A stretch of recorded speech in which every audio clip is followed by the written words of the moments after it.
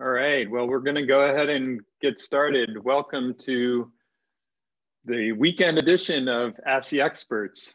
For those of you who don't know me, I'm Tom Piechota, the Vice President for Research here at Chapman University. Thrilled that you're able to, to join us during the weekend, whether you're joining us on, on Zoom webinar or whether you're joining us on Facebook Live. Um, glad that you could join us over the weekend here. Um, Ask the Experts is something that we've been running here at, at Chapman for, for several months now, um, where we bring together experts from uh, Chapman University, but also from the outside to discuss relevant issues in our community um, and in the US. Uh, today, it's going to be a very interesting discussion around the, the middle class and the struggles of the middle class, um, led by some really great experts. Um, this is an interactive format, so we really encourage the uh, participants, uh, the attendees to uh, ask questions. There's opportunities for you to ask questions by posting into the question and answer box in the uh, in Zoom or in Facebook Live. You can paste, post that into the discussion portion of that and we'll, we'll have time to uh, discuss those questions. Um, this is an hour and a half long and we're gonna have some presentations by our by our panelists, and then we'll have a, a good amount of time allowed for discussion also. Um, so with that, I'm gonna let the program get started and, and stop my introduction, but I first wanna introduce uh, a couple of our panelists that will, that will kick it off. Uh, the first person will be the moderator for the, uh, for the webinar today. Uh, we're really fortunate to have Steve Pontell be our moderator. He's the CEO and president of National CORE which is one of the largest nonprofit developers for affordable housing and, and senior housing. Um, the first people that will be presenting are Joel Kotkin. Um, he's a presidential fellow in urban futures at Chapman University, and Marshall Toplansky, a clinical assistant professor of management science at Chapman University. Joel and Marshall are both uh, veterans of the Experts, so we're, we're thrilled to have them back, and, and so is Steve. So with that, I will turn it over to Joel and Marshall to make their uh, opening remarks and opening presentation. So thanks, Joel and Marshall. Well, thank you, Tom. Thanks for thanks for having us back on Ask the Experts. Um, we're looking forward to what I think is going to be a really lively and interesting discussion um, with our panelists who have just a wealth of knowledge to share. Uh, but um, let me just uh, share our screen here and um, give you a little context for the discussion. Joel, you want to kick us off?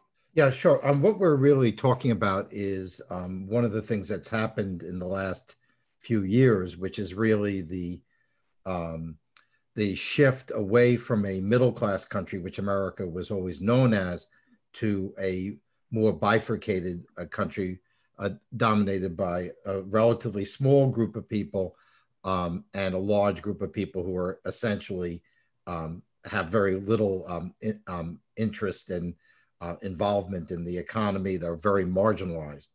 So we've had that same thing happen in the Middle Ages concentration of property in few hands. Politics were dominated by theology. Uh, you have right wing the- theology and left wing theology, and not a lot of realism. The lack of upward mobility, which is really our biggest concern, um, it um, you know, I was just uh, thinking, you know, last week I buried my my mother, and you know, somebody who grew up in the slums of Brownsville, and she and all her brothers and sisters and virtually all her friends uh, made it from the working class to the middle class. I think that's becoming harder and harder. Easier in in the Boomer generation, much harder for millennials. Um, stagnation and poverty have continued to grow, and um, one of the uh, biggest problems is obviously that people are not very literate, and that's also very much like the Middle Ages. Um, one of the biggest problems that we've been writing about at Chapman in particular has been the problem of affordability. And as you can see, California housing prices relative to incomes were always very much on the national level. So if you you moved, let's say, from Michigan to uh, to Los Angeles, you were paying fairly similar housing prices. You can see that has changed dramatically. Um, and relative to incomes, it's changed dramatically. So if you look from 1969 to 2018, this um, in California, um, the prices have um, of the average price relative to income is about 7.3. Uh, in in LA, it's nine. So part of the big issue that we have is people both don't earn enough money to afford housing in many parts of the country, particularly here in California, um, and at the same time, uh, people um, are finding housing prices going up. So this this disconnect between housing prices and incomes is very serious. Um, and then if we look at the ways how people move up historically, um, it's been basically uh, through education. Um, my own pa- uh, parents' generation um, and even our generation had relatively affordable education and fairly decent education at the high school level. As you can see um, in many of our states, particularly some of our bigger states, uh, California, Michigan, um, uh, as examples, um, also uh, Oregon, Illinois, uh, poor students do very, very badly. And the quality of education, even pre COVID, was really uh, quite terrible. The um, all of this has translated into a world where um, there is a growing bifurcation, as Joel said, not only in um, living standards, but in jobs. If you look at the jobs that we kind of consider to be next generation jobs, jobs that are um, based around um, providing professional or technical or scientific services. The growth rate of those jobs um, is highest in places like Texas and Utah, lower cost places with lower costs of living. The um, traditional hubs of those jobs, New York, California, Illinois are significantly below the national average. You can see here that the California number, for instance, is 19% versus the US average of 26%, and that's growth in jobs over the past decade.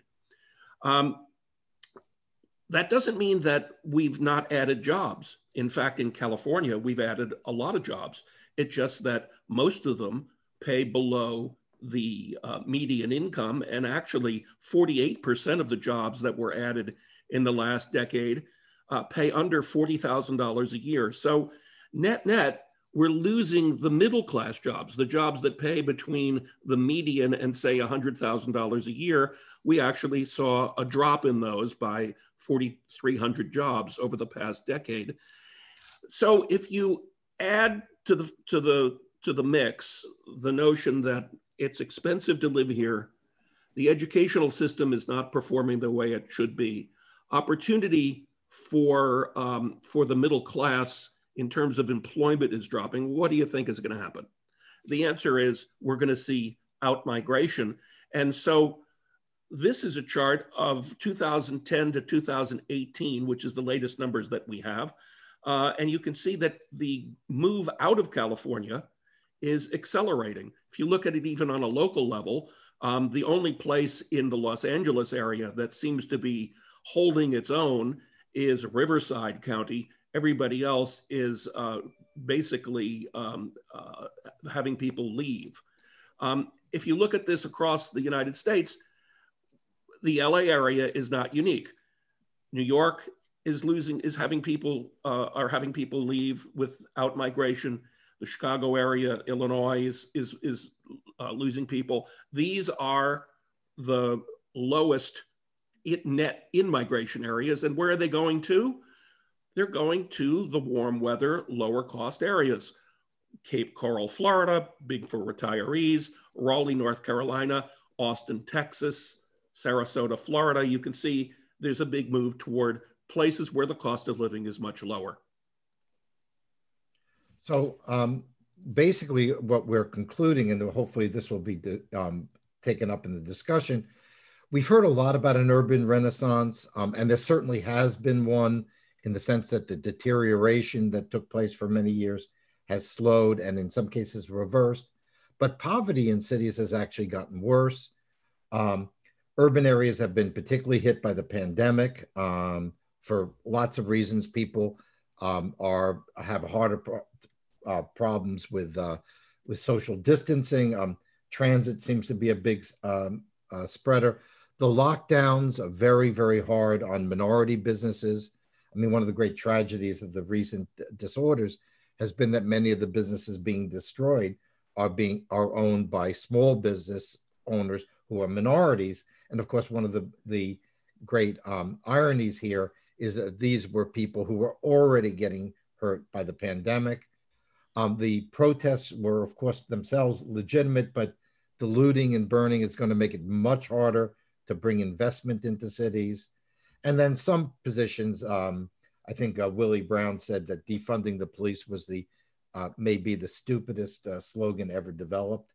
Um, and certainly, what we're finding in the in what we're looking at is actually many of the people wanted to fund the police are people who live in comfortable, safe suburbs, and the people who least want it often tend to be people who live in the inner city.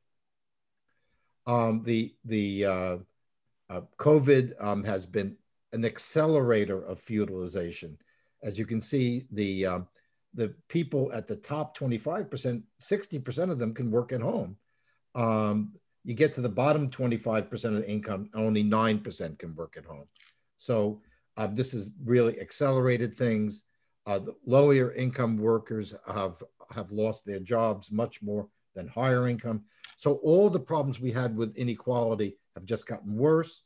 They're more intense in dense urban areas, not just by how many people per square mile, but how many people live in crowded housing, which is again something that happens in part because of the uh, affordability issues for housing. Um, and um, the reality is, most people still want uh, detached houses, but right now, either they can't afford them, and in many cases, in places like California, Oregon, uh, Minneapolis, um, they're increasingly difficult uh, to get through the government.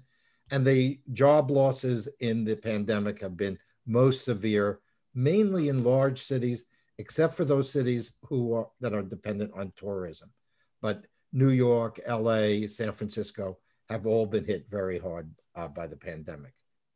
And then uh, just uh, this is new research. It's the first time anyone's seen any of this.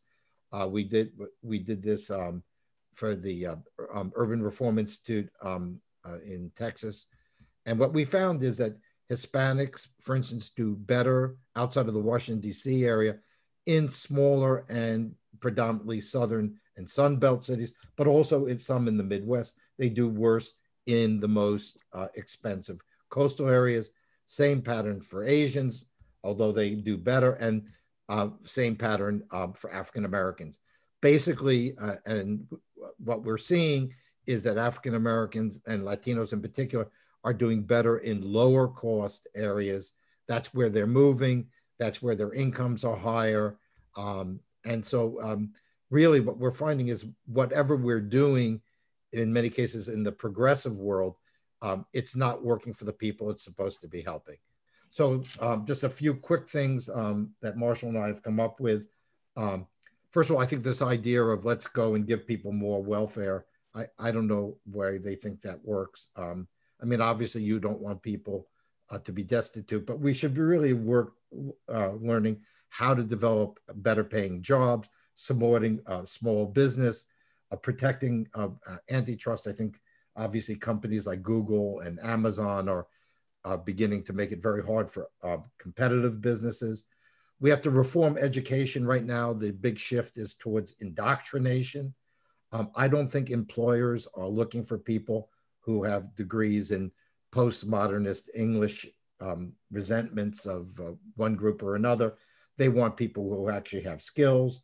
Um, and I think we have to move in that direction. Um, in California, New York, um, and many of the coastal states, um, mid-skilled jobs that pay well are just simply being wiped out, and in many cases, moving elsewhere.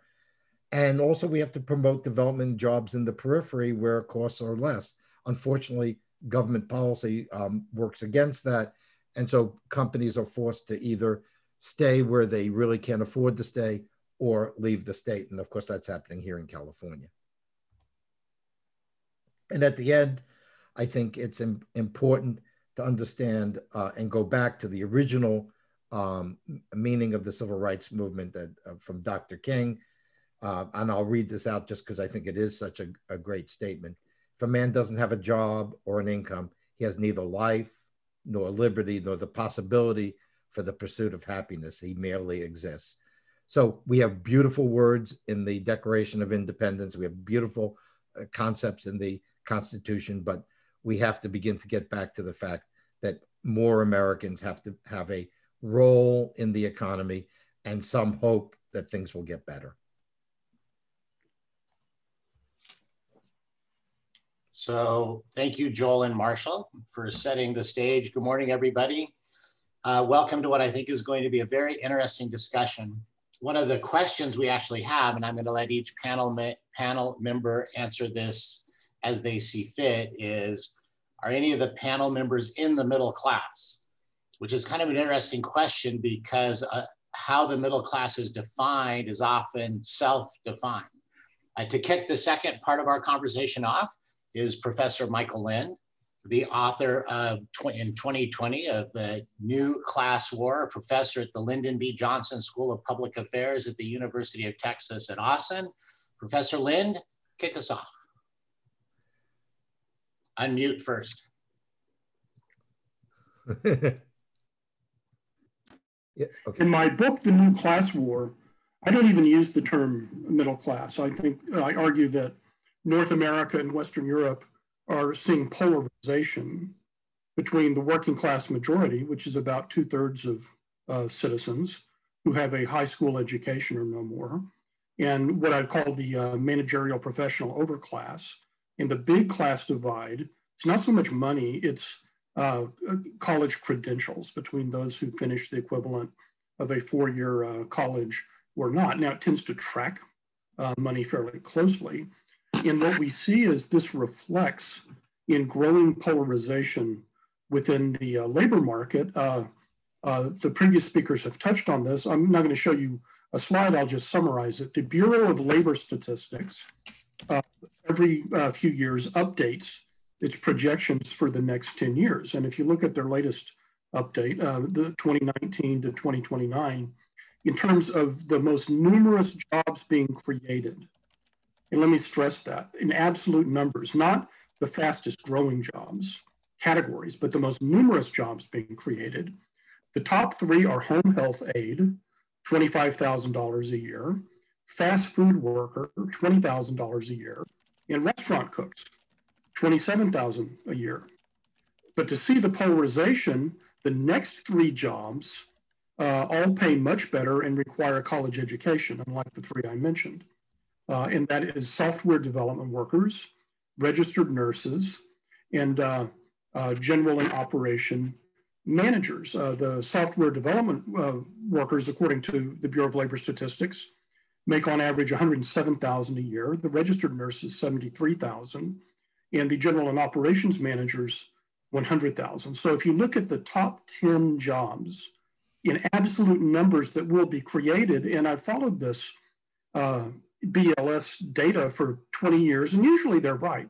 Sometimes they're wrong, but, but this is pretty accurate data. Uh, of the top 10 jobs created between now and 2029, between six out of 10 will not require any college education whatsoever. So when people say that, you know, we need to send more people to college, uh, arguably we send too many people to college, uh, but, but certainly a majority of jobs uh, in the next decade or two will not require a college education. All it takes is high school education, a little on the job training. Four of them will. For uh, uh, uh, really good jobs, which in, in addition to registered nurses, general managers, software development, includes medical managers. And this brings me to the second point I want to make. Uh, we are told that globalization is driving down wages in the US. And that uh, is certainly arguably the case in, in sectors exposed to international competition, like manufacturing, where there's been a lot of offshoring, a lot of uh, uh, uh, destruction of American jobs by subsidized imports from other countries like China. So in the manufacturing sector, which employs a little more than 10% uh, of American workers, the globalization story works. It doesn't work with home health aides. Their jobs cannot be outsourced to China. Uh, that, that's also true of fast, for, fast food workers, restaurant workers, uh, some of these other low wage categories like stock laborers and uh, uh groundskeepers who will, there will be uh, more restaurant cooks than there will be software engineers in the US in the next 10 years. And this is not necessarily a bad thing. Uh, that's what you would expect in a society where you have more automation, where you have fewer factory jobs, even in the absence of uh, globalization. So out of curiosity, I looked at Germany. It's another industrial country that is exposed to the same kind of you know, global competition that we are. Uh, and it turns out that a lot of these low wage jobs are paid much better in Germany. So for example, home health aides in the US make 25,000 a year in Germany. It's about 32,000 in, in US dollars, which is about 150% more. It's not great, but, but it's certainly better. Uh, and so on down the line. Uh, so what is the difference? Well, it can't be that the home health aides in Germany are better educated than the ones in the US. They're not. Uh, it can't be globalization in some mystical sense. It can't be technology. Germany is a high tech. What is it? Ultimately, it's labor market institutions and government uh, and unions, particularly unions in the service sector, which we lack in the US. Uh, that's the big key. Uh, unions uh, allow workers to pool their numbers to bargain for higher wages. Now, if you're a consumer, you may not like this. If you're an employer, you may not like this. But the fact is, what we call the middle class uh, of the industrial sector in the 1950s and 60s, the Europeans call them working class. That is, uh, these were high school educated factory workers, sometimes clerical workers. The reason they made more money in the 1950s than in the 1920s, when, when they were paid dirt wages, was because of unionization. They were doing exactly the same kind of jobs. They didn't have any higher education than they did in the 1920s. Auto workers, they had unions uh, that, that could compress wages and, uh, and extort higher uh, pay. So uh, I, I think that's something we need to think about because when we say, well, everyone needs to go to college, the jobs of the future require uh, college. Some of the jobs of the future do. The majority of the jobs that Americans will be doing in the next 20, 30 years will not require any education, maybe a little on the job training or uh, some community college training, but certainly not a BA. Uh, so the, if, you, if your real concern is low wages, then maybe we should just raise wages. Uh, and historically, there are two ways to do that. You know, one is through unionization and collective bargaining in particular sectors, and the other is a higher inflation-adjusted minimum wage. But you know, Napoleon. I'll conclude with a quote from Napoleon. He said, uh, "If you want to invade Vienna, invade Vienna. If we want to raise wages, maybe instead of saying, oh, we'll get, send people to get master's degrees and we'll do this and we'll do that, may, maybe the answer for a lot of these very low wage occupations is just higher wages. Thank you. Thank you, Michael. So now we have um, Martin Luther King and Napoleon. Pete, I can't wait to hear who's going to guide your uh, your comments. uh, we're very fortunate to have Pete uh, Saunders with us today. is a writer and researcher whose work focuses on urbanism and public policy but as if not more important, he's a practicing planner working in the suburbs of Chicago. Pete is also on the uh, board of advisors for the Center of Demographics and Policy at Chapman. Mr. Saunders, please share with us. Thank you very much, Steve. Uh, first of all, I just want to say that I can't agree more uh, with what I've heard so far, and everything that I uh, am going to talk about kind of reiterates the points made by uh, Joel and Marshall and Michael. Uh, but uh, I'm going to bring a little bit more of a, a local focus. Uh, for those of you who don't know, I am based in the Chicago area, have been working in this area for the last uh, nearly 30 years now. And uh, I've seen what happens when the kind of bifurcated economy uh, emerges here when it does not have the steady influx or inflow of people coming in from elsewhere in the country or internationally. Uh, the Chicago region has been one that's been pretty stagnant in terms of population growth, job growth over the last uh, 20, 30 years or so. Uh, and the bifurcation is, is really evident with the uh, increasingly uh, growing and stronger upper middle class, professional and managerial class. I think Michael put that very well. that is concentrated on our North Lakefront and then a service class, working class that is uh, living elsewhere throughout the, uh, the rest of the region. Uh, I think that the COVID pandemic has really exposed and, accelerated a lot of these, uh, uh, uh, has accelerated the fissure that we've seen here. I think that our, our desire to call out the, the agricultural workers, delivery drivers, the cashiers, people like that as uh, essential workers is really an indictment of uh, where we are today. And I think that uh, we need to uh, not just express gratitude, but uh, as Michael said, we need to start considering how to pay them more. Uh, I'm not going to go through a whole long history lesson here. I think how we diverged and how we ended up in that way has really been explained by the previous speakers. However, I would call attention to uh, a website that I think also highlights that. There's a website called WTFHappenedIn1971.com, which is a really interesting website. website. It really has uh, a series of charts that show how there was such a divergence in any number of uh, characteristics that started in the early 70s. Uh, changes in production, changes in wages, changes in unionization, changes of all sorts that really explain how this is a long-term phenomenon that's been in place for uh, going on 50 years right now. Uh, I come from a place uh, in Chicago. I was also raised in Detroit, uh, where the manufacturing sector blossomed.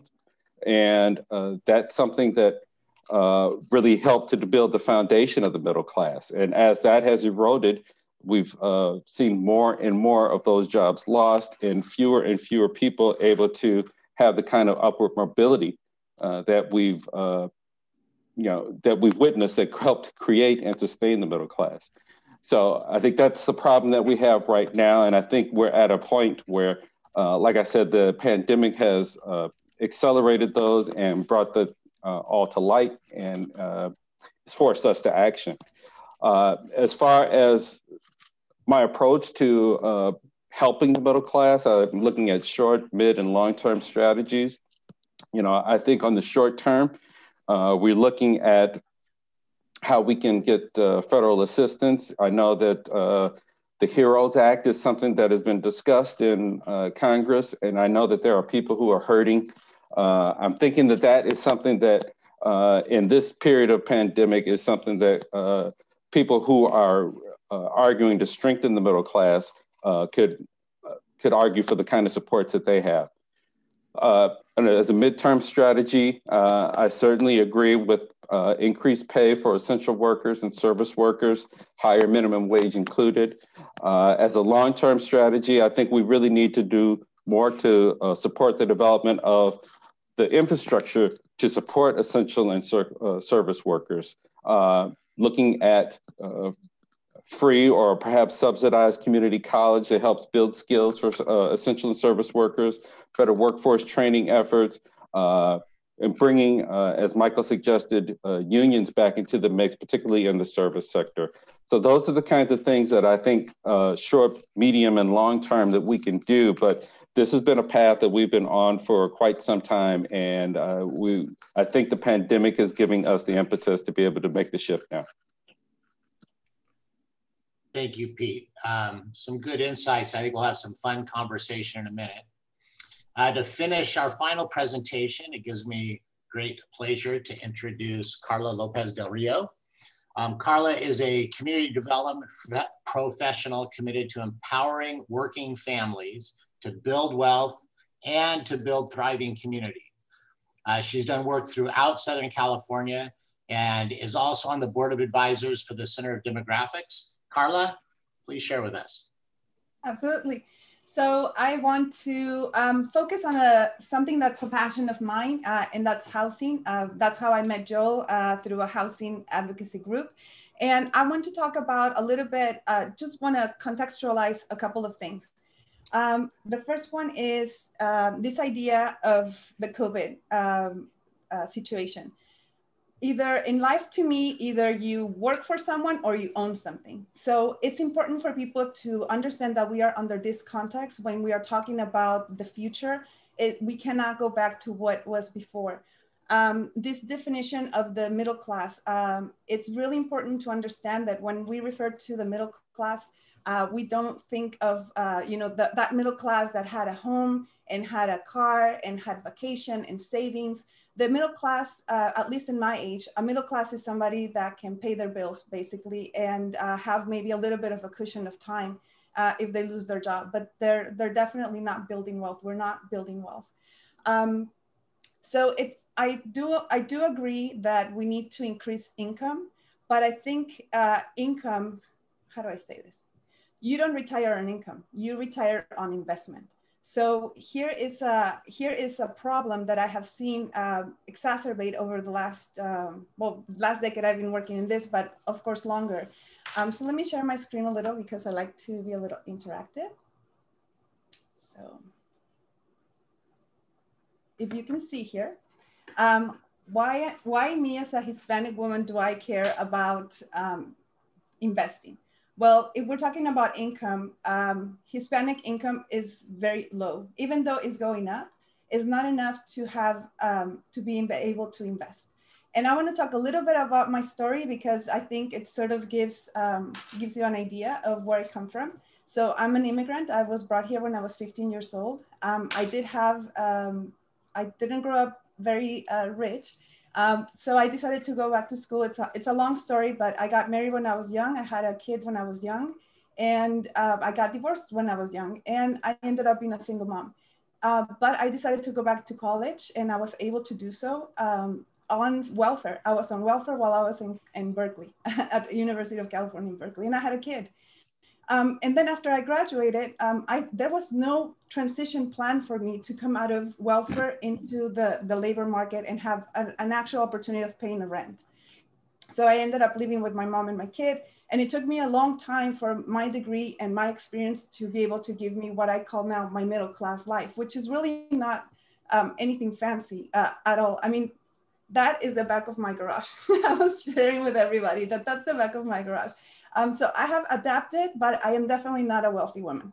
So I wanted to share that uh, in order for me to feel a little more secure, um, investing into a home was extremely important. So home ownership for me was really, really important. And uh, your net worth is really important. So your net worth is whatever uh, whatever money you have minus your debt, right? And what we have seen in the in the past years is that the middle class or the people that have the ability to have a net worth that allows them to have a retirement is going down. Um, and then when you put a racial uh, filter over it, you can see that Blacks and Hispanics, and I don't have the information for Asians, but that's an important uh, data point that we should start collecting. Um, there's a big difference between the net worth um, of uh, those um, individuals. Um, and a lot of it is tied to the equity of their home. So in, in this chart, it, can, it shows you how much of the equity um, of the home goes into what an investment means for people. So why is there this disconnect? Um, I, I was looking at the, at the news and this is a January 2020 uh, Wall Street Journal um, that's saying that state and local governments are grappling with how to create more rentals to combat the rising cost of middle class and lower income families but as much as 80% of the new supply of this new of this year will be luxury developments. This is not helping the people that need the housing. We are not building housing for the people that need it. And it also reminds me of, of where we are besides the pandemic. We are also undergoing a industrial revolution type, right? Uh, we are going through our own technological revolution. And I wanted to talk about housing in the industrial revolution. Um, it was not um, up to par, right? Uh, workers had these uh, four penny coffins in which they could sleep, but you know that's all pretty much they could do. And I I juxtapose this with our technology revolution and how our educated um, millennials are living now. This is in downtown LA. This a this is a bunk bed that you can rent for a thousand dollars a month, and it includes the ability to be able to shower, and have a place to um, sleep. And, but you can tell, I don't know if you can tell, but there's, uh, it's, they're kind of high tech bunk beds. You know, they have these, uh, these screens, but you can tell that they are not Hispanics and they are not Black. These are um, middle, what you would expect to be the middle income uh, folks of, of society, but they are struggling as well. Or you can rent a shed in San Diego in the backyard for $1,000 a month. And um, I think it's about 400 square feet. So my point is that we are not producing the housing that people need. And I think um, this is going to be my other point. Um, we are trying to create too many jobs in the in, in certain centers and we need to start thinking about technology and the new opportunities that it brings so uh, the way that it works i live in an exurb uh, uh, away from la in, in eastvale so I'm about an hour and a half to two hours of traffic to get to work. Let's say if I worked in, in downtown LA. There are not a lot of public transit, but even if they brought public, public transit to connect all of the hundreds of thousands of people that commute from the inland California to the coasts, um, you would find that it takes a huge toll on people. It's not a great opportunity. Uh, 90, 90 minute and plus, most of the people that have the 90, the super commuter, which is an hour and a half each way, um, will, will be uh, public transit. So that is not uh, an option. Also, it's not an option to have this situation. Sorry, this sharing of screen. I hope that you can see. It's also not have um, this situation where, you know, this is a heat map that shows you how people commute from the outside into the coastal. And this is like standing in line to get into the, the stadium, right? It's, it's an unpleasant, uh, it's an unpleasant uh, commute. But um, also, it has a huge uh, toll on, um, on family. And I think we don't talk about that very often.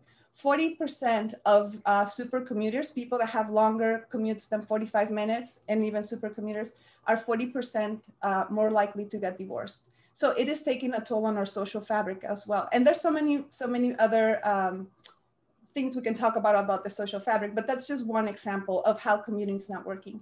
So I think uh, COVID is giving us some opportunity to explore other uh, other areas. And I am not saying this is a um, this is just one solution that I can think about. Okay, we, we're going to have to come up with a lot of solutions and a lot of ideas. But one idea that has been floating around for a while is this idea of working from home. And I think the COVID 19 gave us the opportunity to rethink how we uh, work and where we work. So if we are going to continue to live this way, or if we can start thinking of new ways of at least releasing some pressure from this commute, I think would help. So one of the interesting things that I found was Tulsa, uh, the city of Tulsa is um, having this, this idea of hiring people from, uh, from the coast, you know, and inviting them into the heartland, sort of like going back through uh, Route 66, right?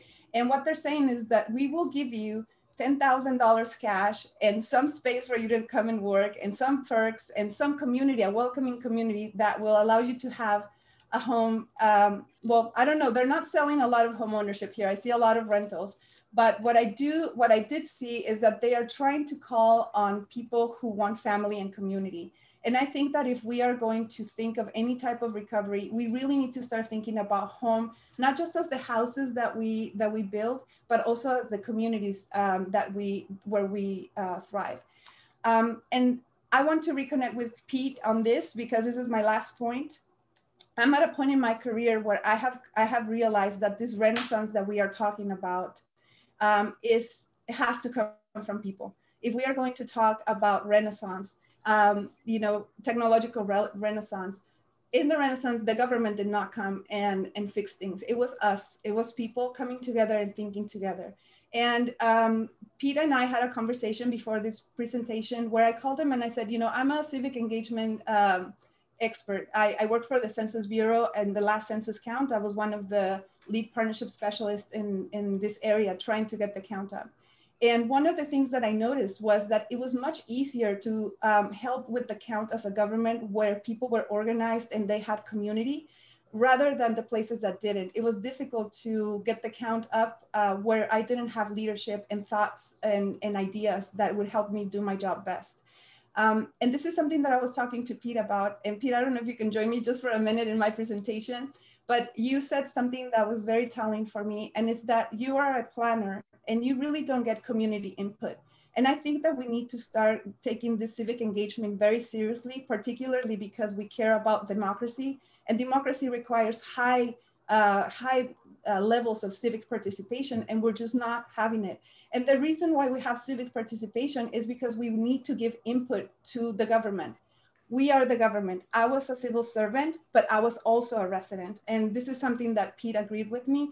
Pete, can you repeat what you said to me over the phone? Yeah, sure. Uh, yeah, basically, I had said that uh, uh, civic participation and community engagement is crucial to uh, I believe the, the, the it's the foundation of our democracy, and I think it's really necessary for for planners such as myself to be able to get the information we need to create the communities that we need.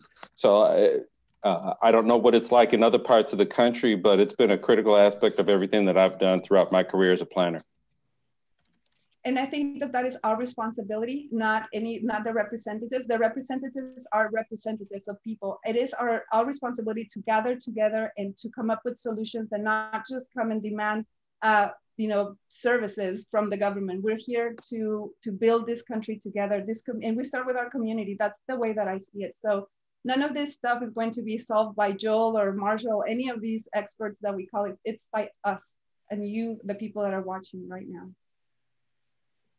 Thank you, Karla.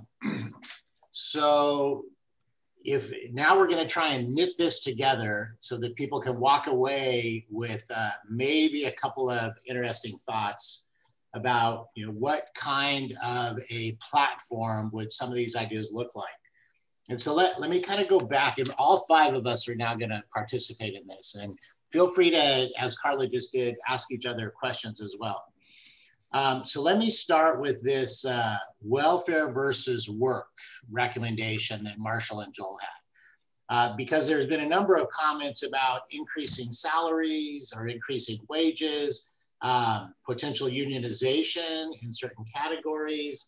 You know, uh, there have been a lot of efforts around workfare instead of welfare, and there are time limits now, and there are other constraints around welfare how, how would that play out? And let me just kind of throw in the Andrew Yang basic wage, thousand dollar a month concept. You know, what, what would be a specific way to actually mobilize work given the job opportunities? And then how can people work in a way that they can earn a wage that can afford the cost of housing and the costs of living? So Joel or Marshall, why don't you kind of flesh that out a little bit? And then everybody else can turn on you and tell you why it will or won't. That's great. And and and by the way, I know Mike is going to have some great thoughts about this. You know, um, my personal opinion is that the that people are going to need to figure out how to become um, how to generate income on their own in a more self-reliant kind of a way. We've had a model where in the past large companies have been kind of the you know, benefactor hiring hundreds of thousands of people to give them a job. I, my, I think the whole notion of kind of the, the post-industrial middle class actually comes from uh, large companies saying, hey, you know, if you're not going to be an entrepreneur and take all the risk and you're not going to be a farmer, what are you going to be? You're going to be middle class industrial worker. And I think that's, that's the history of all of this. But we're in a world now that um, because – technology is giving everybody access to markets and access to information. And we've been able to, to democratize the, the intellectual infrastructure involved in being an entrepreneur. We just need to be able to make it a little less risky for people to do that. And in my mind, that was kind of the role of gig of the gig economy, right? People being able to say, hey, you know, I'm going to dip my toe into entrepreneurship by being able to perform services, not be an employee, but take a little bit of risk. The demand is there, so I know I can I, I can make a living, but take a little bit of a risk of going out on the edge, just slightly uncomfortable for me, to learn how to do it. And I think this is a very important element going forward to be able to give people the incentive to kind of unplug from the corporate teat. So Marshall, hold that thought. And so Michael, maybe respond to the, you know, in California, the gig worker, uh, according to a piece of legislation, AB 5, is now required to be an employee and is losing their ability to be an independent contractor. Um, but it almost sounds as you would be advocating for the unionization of gig workers, whether they're employees or they remain independent. Kind of explain your thought about that continuum of organization. Well, I, I think you have to distinguish the social class of the workers. Uh, if you look at most so-called small businesses in the United States, they're actually upper middle class professionals doing consulting in banking, you know, services, architecture, things like that. This California law sounds terrible for them, right? Get rid of it. Fine, they're affluent people. Uh, if you're an involuntary gig worker, uh, if you're only a gig worker because this corporation reclassified its workforce, instead of being full-time workers, now you're a gig worker, congratulations. It's just insulting them to say you've been kicked out of our full-time workforce, congratulations, you're an entrepreneur. So, you know, my other caution about entrepreneurialism is, uh, this was my previous book with Robert D. Atkinson, the economist, called Big is Beautiful, Debunking the Myth of Small Business. The fact is, across the board, even in 2020, uh, you are likely to get higher wages if you are part of the 50% of Americans who work for a company with 500 or more employees. Uh, small businesses tend to pay poorly, have no benefits through no fault of their own. They don't have huge profit margins, and, and you can do things to help workers other than crippling the small businesses. But most small businesses fail. Uh, very few small businesses survive to year, and the ones that do survive tend to become big businesses.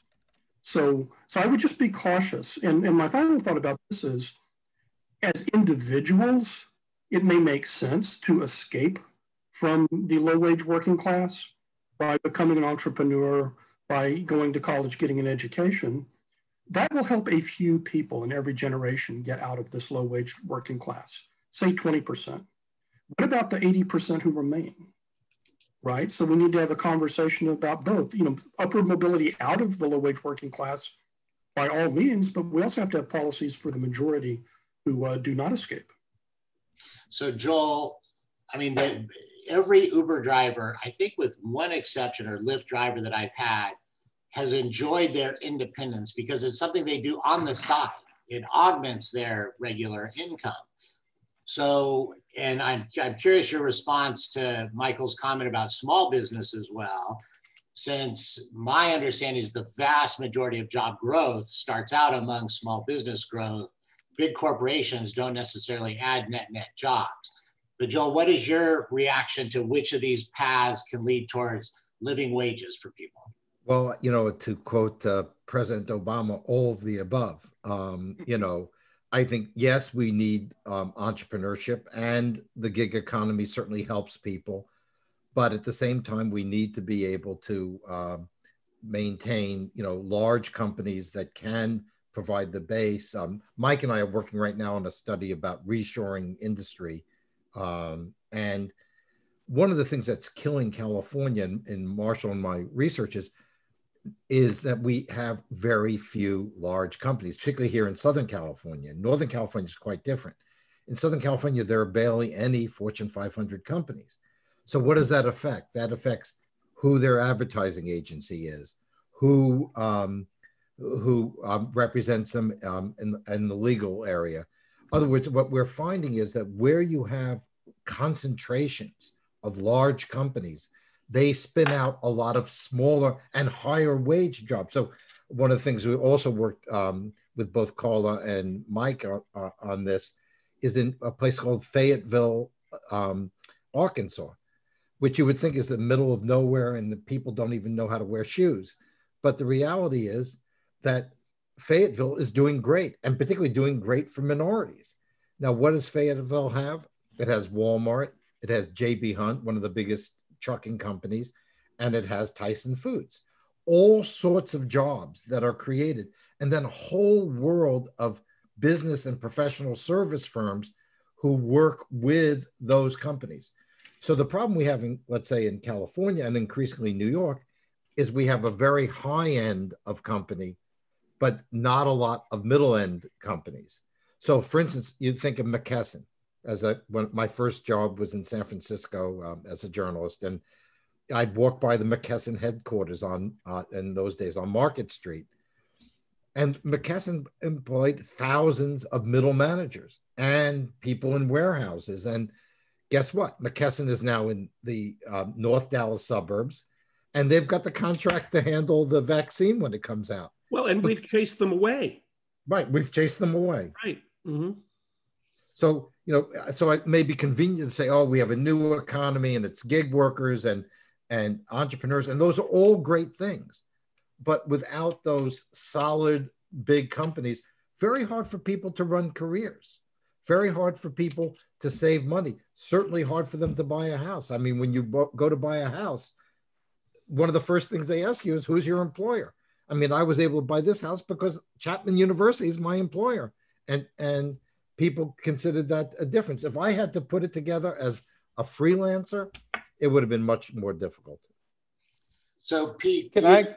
Yeah, Pete, you, you mentioned in your comment about maybe using a COVID relief bridge, you know, financial assistance as an opportunity for um, instituting some change. Maybe maybe walk us through that a little bit more, and and as it applies to how people can get on their feet and kind of get on a path. Sure. Yeah. Well, I'm really looking at that as more of a stopgap measure as we're trying to get through uh, a period where more than 210,000 people have died and more than 8 million people have been uh, affected by COVID. I personally lost four family members uh, to COVID uh, over the last uh, nine, 10 months or so. So I've seen how it can affect us. Uh, and I know how it's affected particularly small businesses.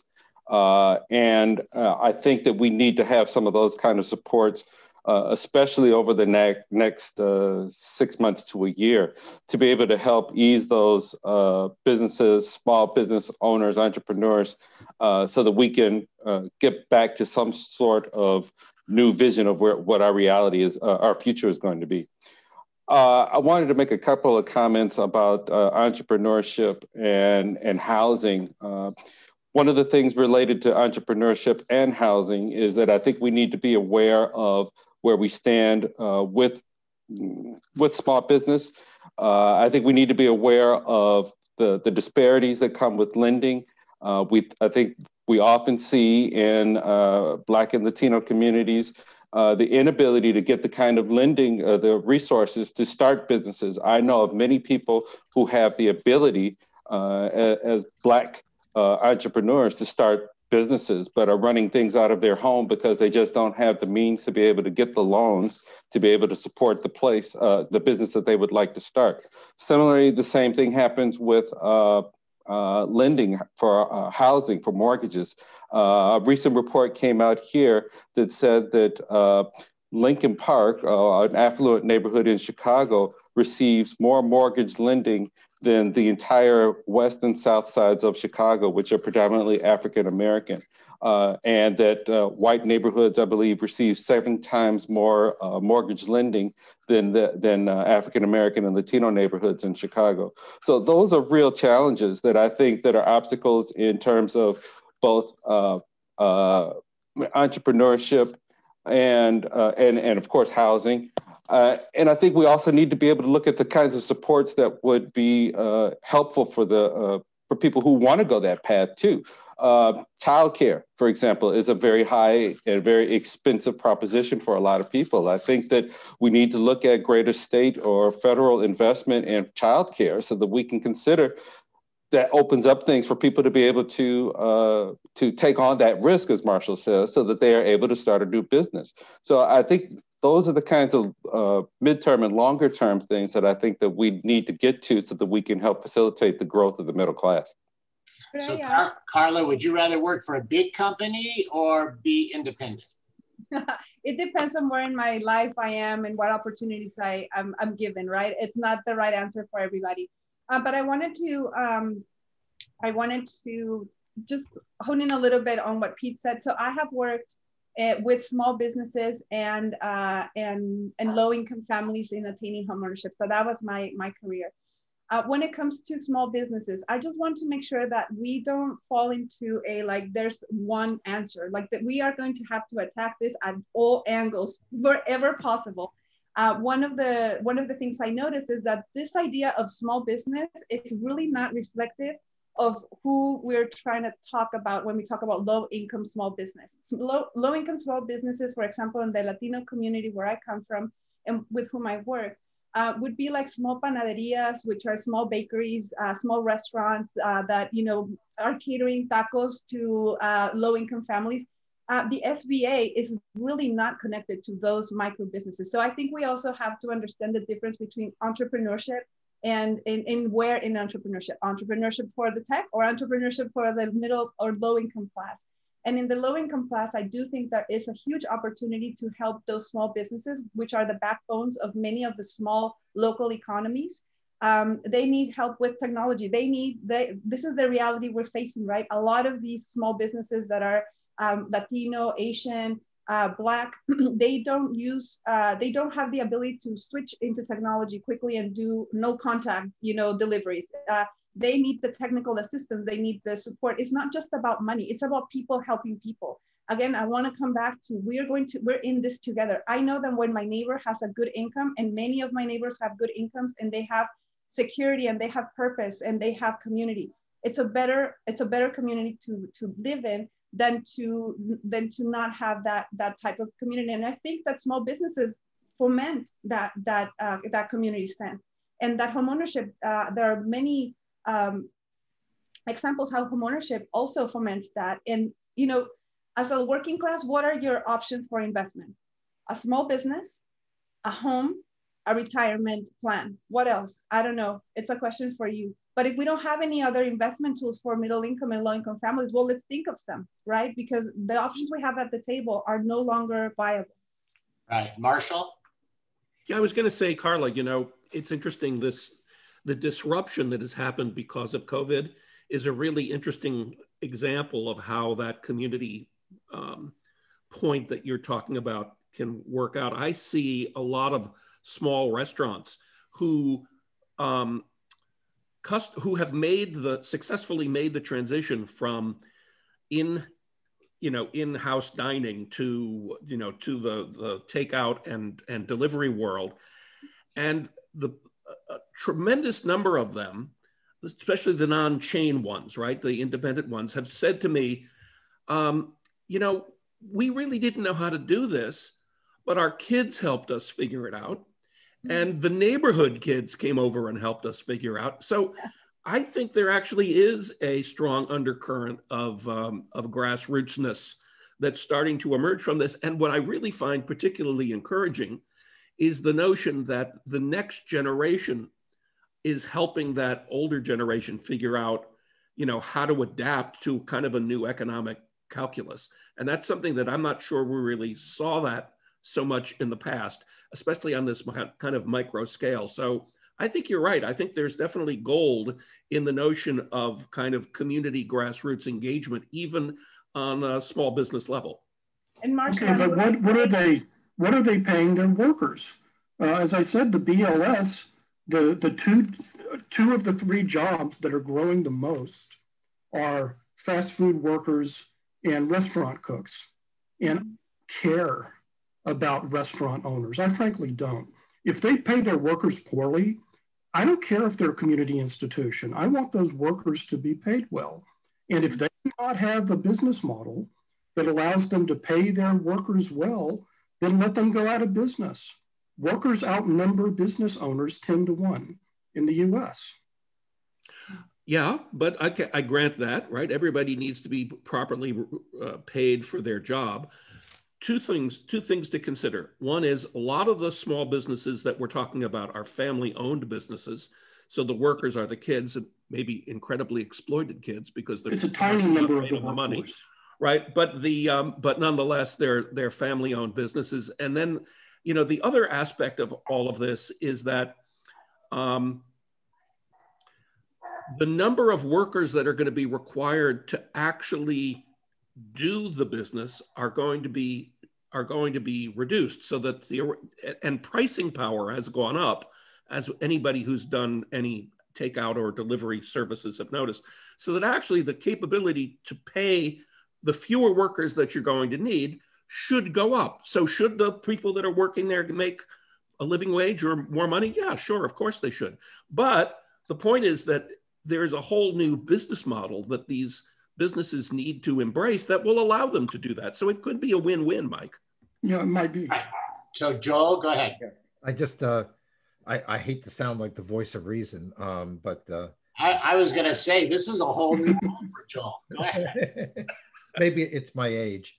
Um, but a, a, couple of things. One, I want to off Pete's point. Um, I just want to share my reporting experience here in Southern California. What I found particularly unfortunate about the way that the COVID response was is it favored the already well capitalized bigger companies and had nothing to do with the wages. Applebee's doesn't pay any better than than you know the corner taqueria. But what I did think was really unfortunate is the way they did it. Um, independent businesses had a very hard time. I, the UPS store um, owned by an Indian immigrant that we go to, he was just frothing about how how did Ruth Chris get money from the government, but I can't. Um, and then the other thing that I think is really uh, very very critical um, on the on this whole issue is in doing interviews in East LA and South LA, what they kept telling me is I've got a shoe store on Cesar Chavez Boulevard. I have to I had to close. My customers were going to Target. My customers were going and buying the the their shoes somewhere else. So I think that what next time, or if we deal with these kinds of emergencies, we have to figure out strategies so that we just don't um, make it actually easier for larger businesses to do best. The other thing is, I the way I keep trying to go with a continuum. I think if we have good, strong, big companies and manufacturing jobs and skilled jobs, then restaurants go back to being what they always were. You know, I find it so depressing to walk into a fast food restaurant and I see a 45 year old person working there when I was a kid, and I did this work myself in New York in the delis, um, you know, you uh, that was something you did when you were 16 or 17 or 18, or maybe somebody did it as a part-time job. What's terrible now is that Lucy Dunn at the Orange County Business Council makes this uh, statement. She worked at Disneyland as a kid. She said, Disneyland, everybody was 15, 18, 20, and it was great for that group get learn how to work, make a little extra money, but now this is becoming a full-time situation. So if these companies don't want to have to pay much higher wages and benefits, um, they're going to have a very rough time. We have got to have an economy where there's an upward mobility for people in their 20s and 30s to do something other than a low wage job and at the same time for opportunities for the you know the small entrepreneur who can support his family on on this kind of business. So again i go back to president obama's uh, idea of all of the above. Um, all right.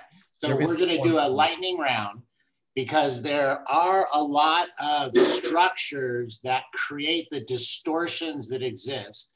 And so FICO scores mortgage tax deductions banking regulation so what's the one change you would make you would make if you were elected president and you have a few days left to make that happen?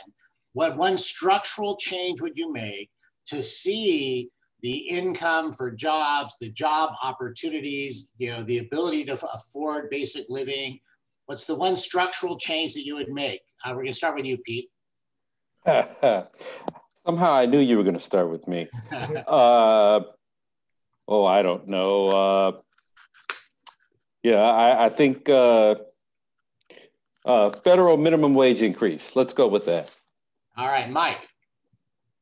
Well, we haven't talked about the consumer, the credit side much, but I would change payday lending laws. Right now, it's perfectly legal in the United States to charge somebody 3,000% interest on an annualized basis. And if you look at the working poor and working people, they have an enormous amount of their income is going, they're in these debt traps. They can never possibly pay down their credit cards, no matter how long they live.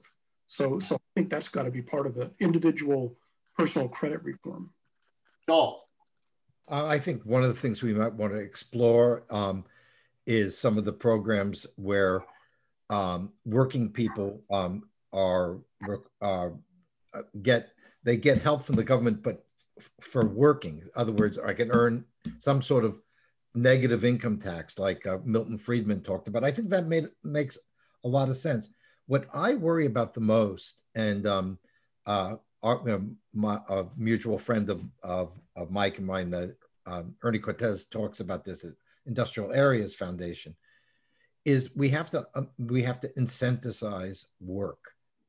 I think if we have a society where people say, "Hey, I'm not going to go work at um, at like my daughter does at Home Depot," you know, I'm not going to do that kind of hard work because I can get the money from the government. That is going to have such a debilitating effect on our society um, that it will be a disaster. So, I think how to give incentives to work, whether it's higher minimum wage or whether it's a, a um, some sort of negative income tax, but work I think is an essential value, um, and that if we and and to tell people as, as Dr. King said, if we if if people don't have incomes and they don't have um, they don't have a, a job, what kind of person are they going to be? What what are the, what's how are they going to relate to their children?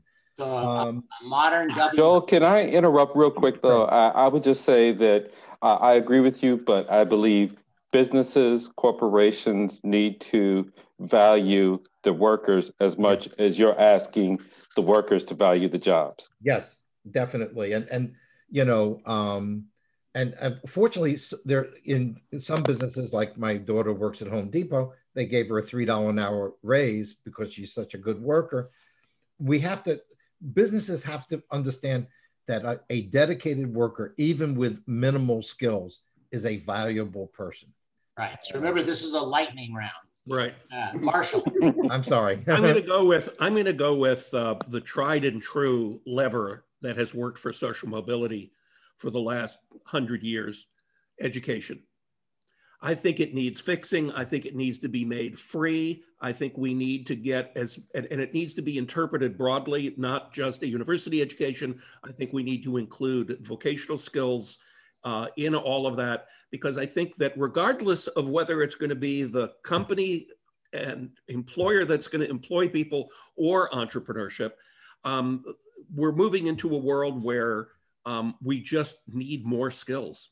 And we're losing that competitive position to the rest of the world by not being able to uh, provide that level of uh, education. So, and maybe this is a Bernie bro thing, forgive me, but I think that we need to get rid of the educational debt that's hanging around the necks of all of the people that have been going down that path so they can actually get a leg going up, a leg up in, uh, in savings so they can actually start to build some prosperity. Karla's going to pay you for that. Karla, your thought. Um, okay, well, I'm just gonna say that um, I, if I was president, I don't think that I could solve things that communities have to solve on their own. So I would like for uh, community come together and, and solve local local issues. So yes, the federal government has a lot of influence in housing, for example, but they don't decide what type of housing we have at the local level. So people need to get involved. The other thing, uh, so we need to understand, I think as citizens, we need to understand who to go to for what. So the president does not decide your housing. It doesn't decide your education. That is done at the state and local levels. Um, that's where we need to start innovation. It, it shouldn't come from the top. But if we were to talk about the top and I was president, I would really encourage uh, continuation of um, interdisciplinary uh, decision body making um, structures and what I, but I, what I mean by that is that these education leaders need to be talking to the uh, business sectors and the business sectors need to be talking to the housers and the housers need to be talking to the transportation.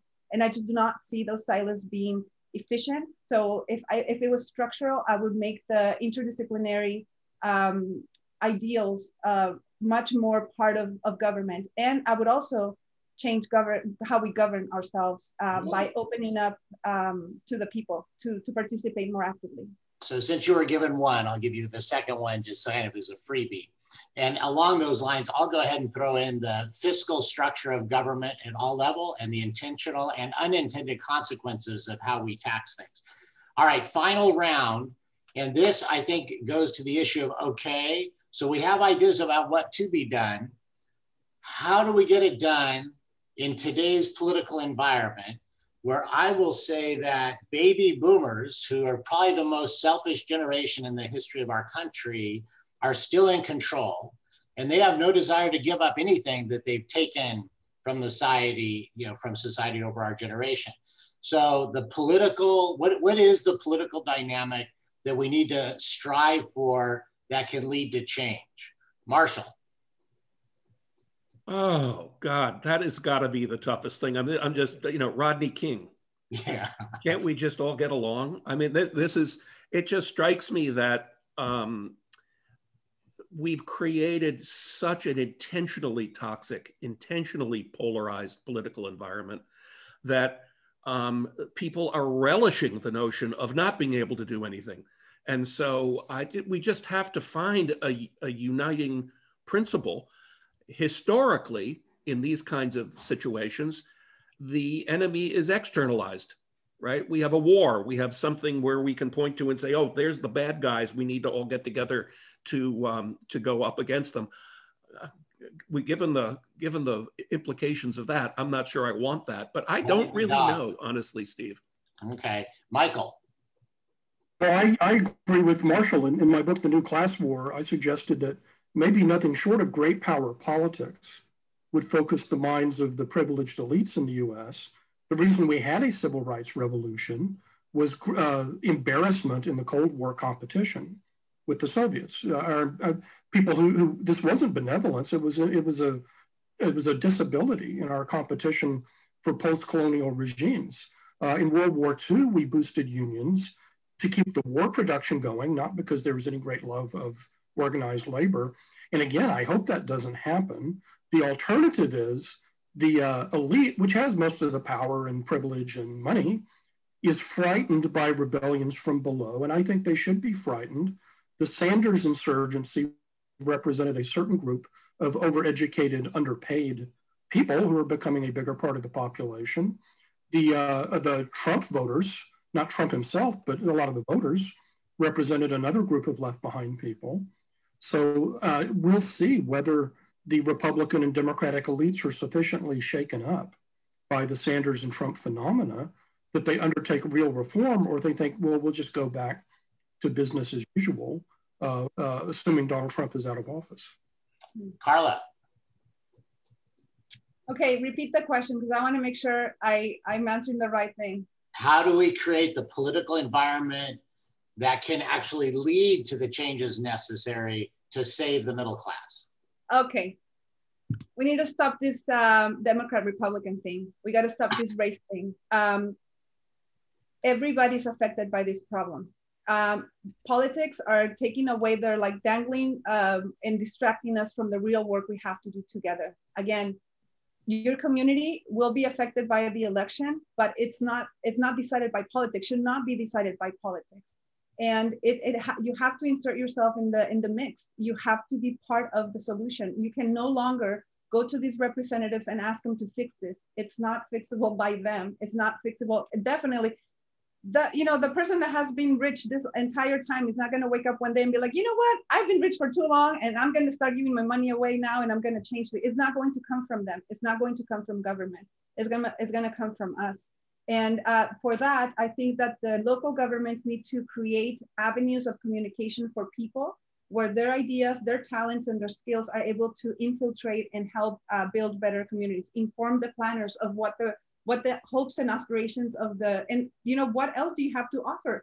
I I have very strong feelings that we have not tapped into the entire talent pool and skill pool of the people that we have. We have underutilized our human resources we're not thinking about people uh, in, uh, in a nation, in a national, even community sense. We're not thinking of people of human resources that have talents and skills. We still treat them as like they're workers. You know, you see uh, Blacks and Hispanics, they are thought of uh, as, you know, workers for construction, but there are mathematicians, there are statisticians, there's um, there, there are entrepreneurs, there are artists. There are so many of those talents in those communities, and we're not fully utilizing our, our human resources. So we need to think more critically about who lives in the US and what can they contribute um, and how can we help them thrive so that we can all benefit from that. Pete. Uh, first of all, I want to say yay to Michael for uh, bringing up uh, interest convergence. that uh, some of the things that have happened previously did not happen out of the generosity of our hearts. They happened because they were a means to an end. And I think you're right about that. I think that uh, we need to have, oh, oh, we know what needs to be done. We need to have uh, the overeducated, underpaid Bernie supporters get with the left behind Trump supporters and realize that they are all working towards a common goal. And I think that we could see, uh, believe it or not, some real agreement on many of the things that need to happen at the federal, state, and local levels. Uh, I really think that, uh, however, that this is not going to happen uh, in a potential Biden administration. I'm guessing at this point, uh, uh, this is a caretaker, a potential caretaker administration as we sort of right the wrongs of the last four years or the last 40 years, depending on how you look at it. And then I think we'll uh, eventually get into a direction where uh, Gen Xers like myself or millennials are going to take the mantle and be able to steer this ship in a new direction. So uh, that's how I see it. Joel. Okay. Um, basically, I, I, mean, I agree with the, the, most of the sentiments. The problem we have now is um, Trump did identify some very good critical issues, but he did it in such a ham handed way to make this unity that Pete is talking about, which I think is a great idea between the, the Trump supporters and the Bernie supporters, and even large parts of the uh, of the poor and working class population. But you can't do, you can't build a sustainable working class coalition based on nativism, given that 50% of the working class uh, is going to be Hispanic, Asian, or um, African American. So, I, I, but the biggest thing I want to get into um, over time is let's talk about results, not about rhetoric. I mean, um, if you think about what's happening with um, the big corporations in this country, frankly, supporting you know environmental, gender, race, uh, you know, virtue signaling is a great way for them to deal with the, the problems of their public relations. What would be much better is if they dealt with the issue not about how they feel good about themselves, but about how they treat their employees, how they bring production, if, it, if they have production, um, back to the United States. What we really should be scrutinizing companies is not who's on their board of directors or you know what their policy is on transgender workers what we really should care about is how do they treat their workers? Are they creating jobs? Are they creating good paying jobs? And right now, that discussion is not taking place seriously in either party. Well, you know, one one quick add to that because I think Karla has actually put her finger on the real answer here, which is, in essence, grassrootsness. Right? I don't. Maybe I'm. It's not exactly the right definition of grassroots, but it's just do it right? Get out there, start working. Don't necessarily look to government for policy guidance. There is no grand strategy. Just get out there and do it, whether you're an individual who, who, who is going to demand that they get services from the government, or whether you're an employer who, as, as Mike says, not out of self interest, not out of um, any kind of uh, munificence, uh, is going to try to, um, you know, uh, make changes at the micro level in their businesses to be more efficient, to be create more loyalty among the employees, so they don't have the same cost, they don't have high costs of replacing them. You know, these are not policy level issues; they're they're just do it ish uh, situations. Napoleon. So let me uh, last question, lightning round. Uh, Marshall, I'm going to start with you what gives you the most hope for the future of the middle class? Hmm. Good question. Yeah, that's a that's a really good question. Um, I'll tell you what gives me the most hope. I have classes in my at Chapman University that I teach in new product development and in um, marketing analytics.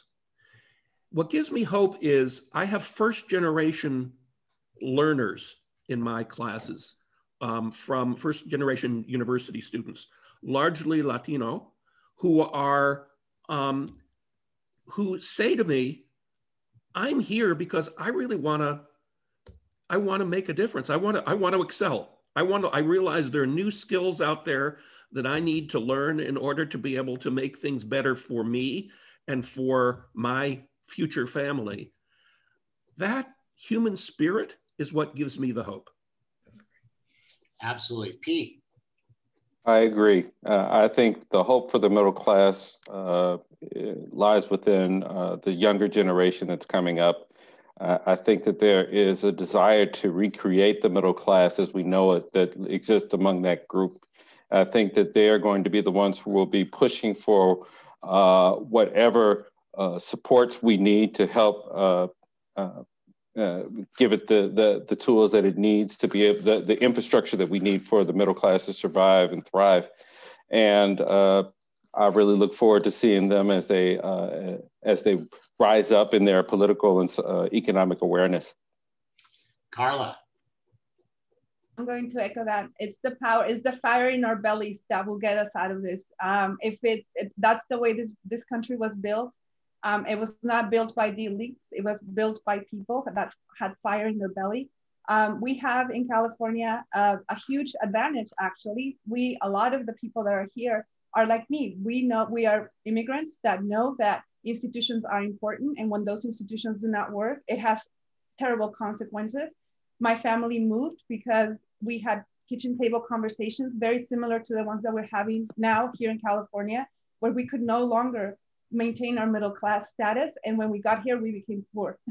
And i will tell you that you know nothing is granted. So it was the fire in our bellies that allowed us to move forward. And that's what i'm trying to tap into that that everybody has fire in their bellies. Everybody has ideas and we need to let those ideas flourish because that's what government good government is about. It's allowing these ideas to bubble up and the best ones to help everybody. And we rally around those. And i really want to um, just remind everybody that we're talking about a technology revolution. I think that broadband and, and digital access will be crucial to democracy in the future. Uh, there are tons of people right now who do not have access to education because there's no, no internet connection despite having uh, devices. Um, that is the, the future generation uh, of, of low income families that need to have that access because it's inevitable not to not to build your community without that technology, if that's where we're heading. Michael. Yeah, I sort of agree on, on the technology in the long run. I, I think it favors the working class majority in as much as a lot of the high incomes that we associate with professionals, doctors and lawyers and even professors, I'm a professor now, are basically what economists would call rents. You're using your, your the, the premium prices because there's some kind of bottleneck in scarcity. And so you can charge more. And uh, as you move to online education, uh, have uh, AI that can write your will instead of paying a doctor, a lawyer, this enormous amount of money, then I think there will be a, a certain, it will be bad for, you know, a small number of well-paid people, but, but it will mean that a lot of the high prices uh, that are, that ordinary Americans pay to very well-to-do professionals and, and I do, in spite of, you know, my, I've, I've, been somewhat skeptical about some of the claims for small business, but uh, a lot of the information economies of scale that big businesses have traditionally had in terms of access to uh, consumers, research, things like that. I think that uh, AI and, and other technological innovations will empower small businesses. There'll be sort of a level uh, playing field. So I, so I do think in the long run, even in the absence of social and political reform, that technology is going to undercut certain kinds of privilege. Very good. Joel. All right, just three points. One, I, I get a great deal of, of hope um, in the focus groups that um, Marshall and I have been doing on uh, post COVID. Um, these young people, um, I think they really want they want to make a, dis, a difference. They're not just talking about how much money they could make. Um, the second thing is, I think the openness, um, you know, despite all the talk about race, I'm amazed by the amount of intermixing. I am just astounded by it. Um, the and I think that that we will come out of this with a population where a large number of people are have either dated somebody from another ethnic group or they've uh, or they've married somebody from another ethnic group.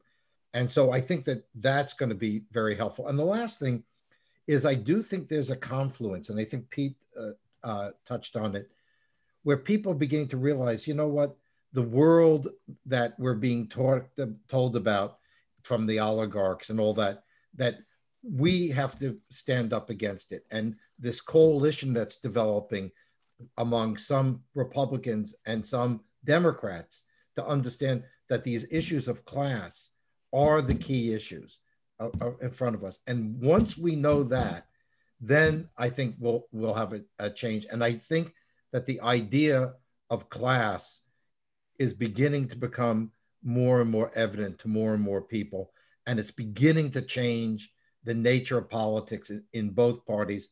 And hopefully, there'll be a meeting of the minds, at least on some policy. So I'm optimistic in that sense.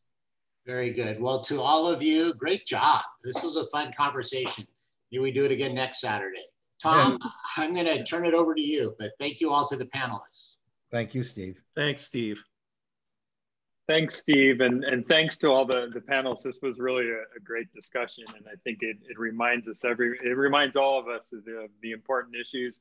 I would also just say it reminds us all of the importance of decisions that we can all make in, in terms of it's voting season right now. So I think everyone that, that, that listens to this and listens to the issues that you talk about, you know, we, we as citizens have power in terms of the decisions that we make and, and vote, whether that's at the top of the ticket or the, all the uh, initiatives that we look at also. So I think I would remind everyone that, that voting is really important in terms of the issues that you talk about.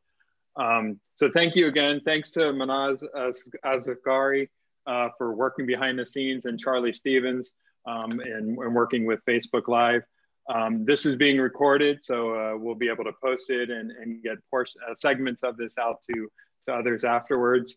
Um, and then one final last plug, uh, we are, we're continuing these the Experts. Our next one is October 27th.